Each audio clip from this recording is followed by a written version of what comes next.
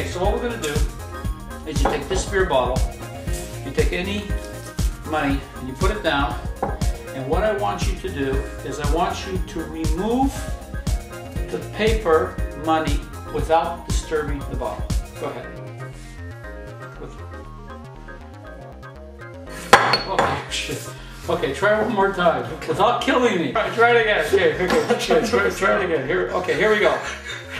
try again. Okay. Okay. Oh. oh all right. All right. Now I'll show you how to do this.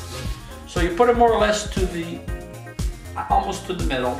And what you do, you're gonna make the bottle jump by hitting the table and making it jump. And you have to do this at the same time. So grab the bill and just, and it's up. And that's how easy it is. To Yeah!